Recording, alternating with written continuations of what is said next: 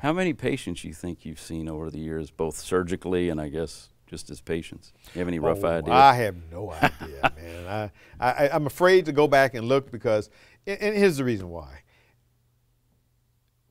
We all know the good ones. Mm-hmm. It's the ones where the outcome wasn't what you wanted it to be mm-hmm. that haunt you. Mm-hmm. Again, it goes back to what did I do that I shouldn't have done? Right. And what didn't I do that I should have done? Now, admittedly, for me as a surgeon, obviously my goal is to go in and make people better. Mm-hmm. Kirt, sometimes the best efforts don't turn out right. Mm. And those patients stick with me.